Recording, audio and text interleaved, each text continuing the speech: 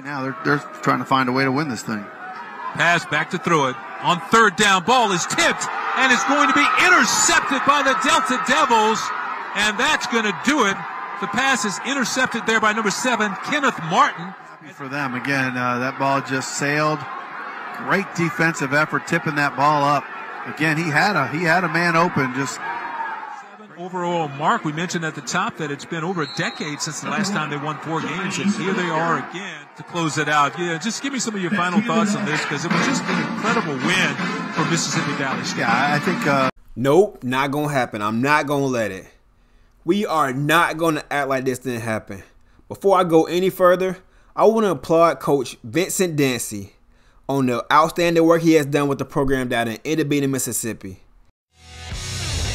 All right, we're back. The college football season is just is just weeks away, and tonight we profile a program, the Delta Devils of Mississippi Valley State, who are led by a former Jackson State standout. The Devils of MVSU are the true underdogs of the SWAC. Some of their best recent seasons were in 2012 when they won five games. Their last winning season was in 2006. But going into this year, they're led by defensive lineman Jerry Gardner, who had nine sacks and three forced fumbles in 2019. Running back Caleb Johnson will also be a key part of their offensive attack. The Devils haven't won more than two games in nine years, but former All SWAC defensive back for Jackson State, Vincent Dancy, who is entering his third season, believes this year could be the year everything changes because of one word continuity.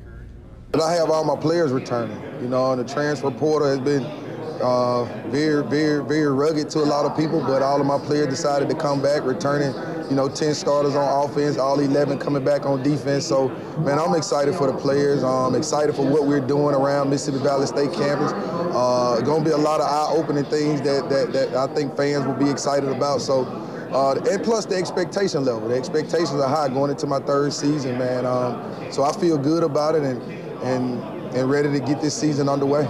He had all the odds stacked against him, and his program was projected to be last in the SWAC.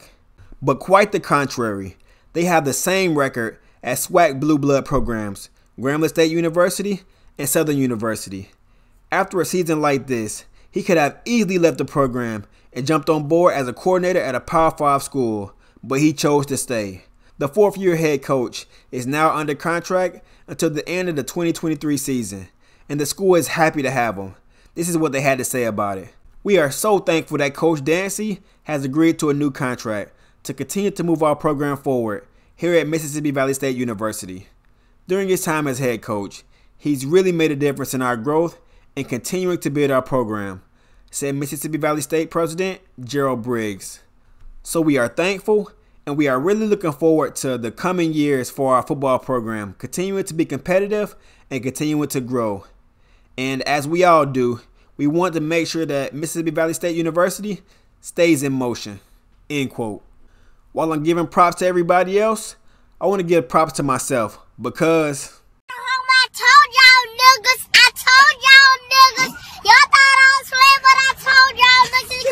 It's funny that people are acting like they don't see this. I said this in my video a while back that Valley was going to shock some teams. I was talking about from a recruiting aspect.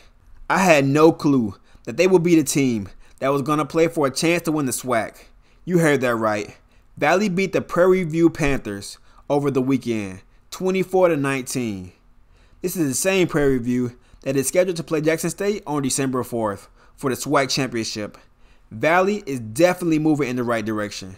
They just finished the season on a two-game win streak. The future is looking a little brighter for the Delta Devils. Now, if only they could get more contribution from their alumni to upgrade their facilities, more students showing up to the games, and a decent recruiting class, they will be scary. Think about it. No offense, but all of this was done with very little talent. Thanks for watching the video. If you made it to the end, type in stop sleeping on Valley in the comment section.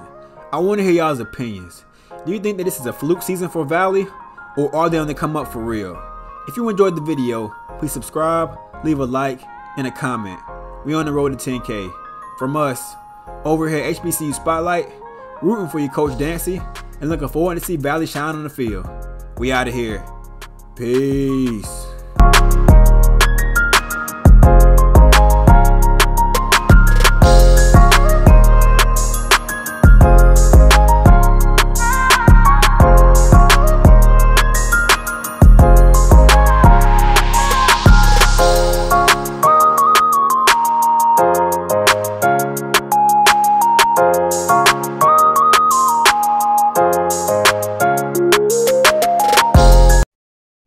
SWAC coaches, you you know what, man?